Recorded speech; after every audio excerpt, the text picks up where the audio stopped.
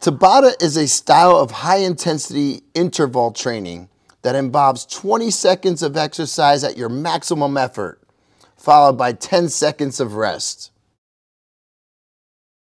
It might look easy on paper, given that the entire workout is only about four minutes long.